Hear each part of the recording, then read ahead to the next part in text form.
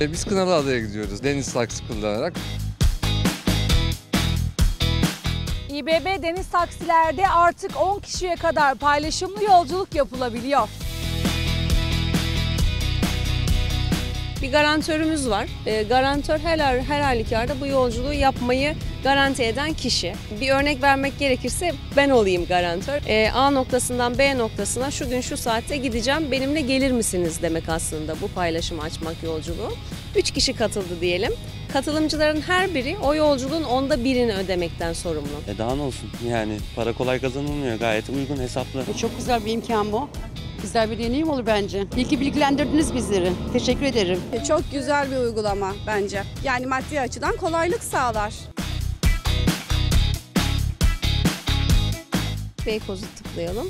Varış yerimizde İstinye. Kalkış varışı seçtikten sonra tabii tarih ve zaman seçiyoruz. Tıklıyorum paylaşım diye artık seferim benim paylaşımı açılmış oluyor. bir kişiye yüklenmiş olmuyor. Artı trafikten kurtuluyorsun. Deniz üzerinden aynı seferi yapabiliyorsunuz.